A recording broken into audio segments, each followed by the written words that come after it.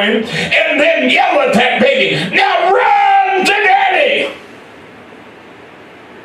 No, you'd be pretty foolish to do that because that baby hadn't even learned yet to walk. They haven't even gotten the skills yet that are necessary to maintain their balance and to understand the concept of putting one foot in front of the other. Am I telling the truth? No, before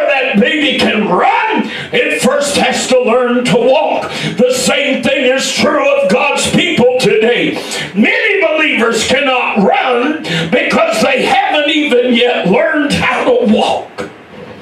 Walking by faith rather than by that which we see with our natural eye is a skill that requires time and effort.